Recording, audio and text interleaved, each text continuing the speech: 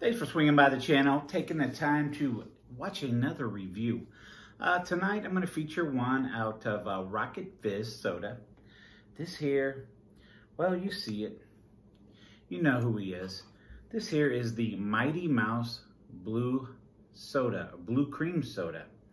Now this here, just just look at it, man. Just just and ladies, ladies and gentlemen, men and women, whoever's watching, check that out. We all know who Mighty Mouse is.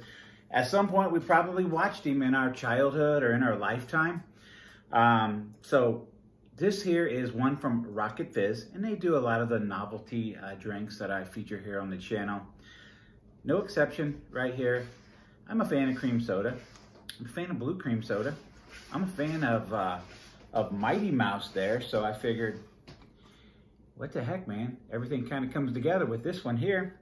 So let's read a little bit about Mighty Mouse. So Mighty Mouse, founded in 1942, I believe, is when he uh, made his first um, animated short. It was actually called, uh, let's see here, what was he called? It was called Super Mouse. So Super Mouse, when he first debuted, two years later, 1944, uh, that name was changed and he was kind of uh, redesigned a little bit and he became Mighty Mouse and he's been known as that ever since then. Now, I didn't know this, but I guess he's had uh, eight animated short films over the years. I believe it was eight.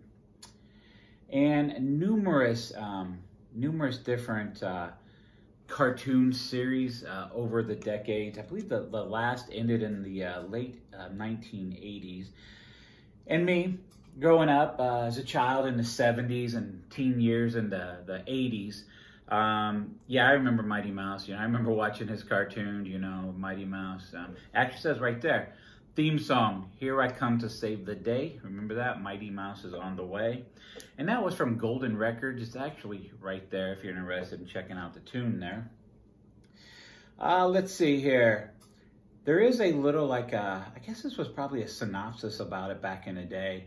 It says, cats of the city have imposed a reign of terror on the rodent community. The mice have barely a chance to live in peace with endless traps and clever feline footwork sealing their doom. One mouse manages to escape from a particularly hungry cat and runs for shelter into an enormous supermarket.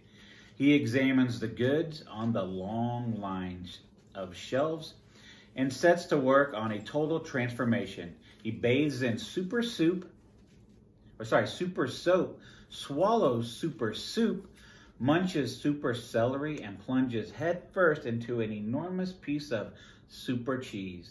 He emerges as Super Mouse, later changed to Mighty Mouse. So, very interesting. Read up on that, very interesting. It's one of those uh, just you're like, never thought about the history of Mighty Mouse, really.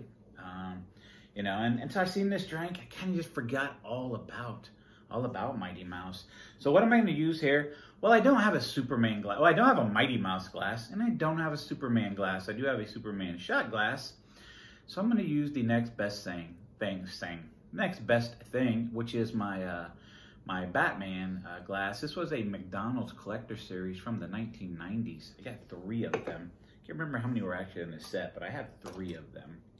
All right, so uh, just before I crack that open, you can see just the, the Rocket Fizz bottle cap on there, bottle cap on there. Man, you'd think I was drinking a bunch of stuff the way I'm uh, slurring over my words and fumbling there. A lot of nice carbonation release there. So I'm pouring it in a glass. It's not going to change the color or anything. I want to see if it's, yeah, we produced a little bit of foam up on top, make sure it wasn't flat or anything and it'll open up uh, the opportunity for me to get um, some more aroma, uh, hopefully notes, aroma notes out of this thing. So yeah, just typical blue, um, just a blue, clear blue uh, cream soda carbonated beverage, right?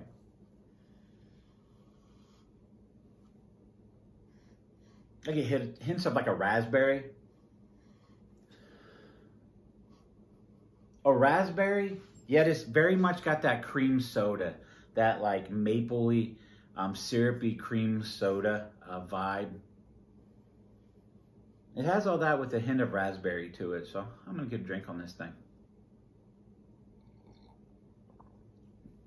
Mm, not bad. So it's made with uh, pure cane sugar, I believe, as all the Rocket Fizz, or at least all of them that I've had, has been. Hmm. So it's got that typical um, mapley cream soda uh, thing going on here with it. But um, as far as the strawberry to the, or strawberry, the blue or the raspberry, whatever uh, flavor it is they're going for.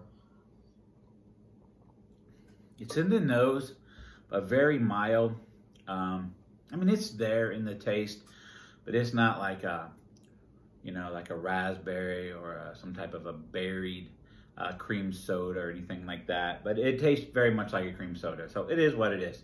The novelty effect is, of course, the Mighty Mouse aspect to the to the drink here. So, hey, do I like it? Yeah, I don't hate it. Uh, is it the best cream soda or blue blue cream soda I've had? Not even close, probably.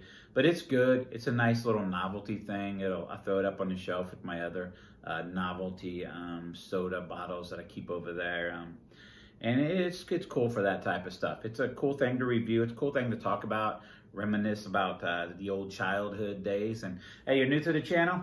I hope you like what you're seeing here and you become a subscriber. Um, if you are already a subscriber, hey, I appreciate you watching, appreciate supporting the channel. Be sure to drop a comment, hit that notification bell, give the video a thumbs up. Like always, thanks for watching.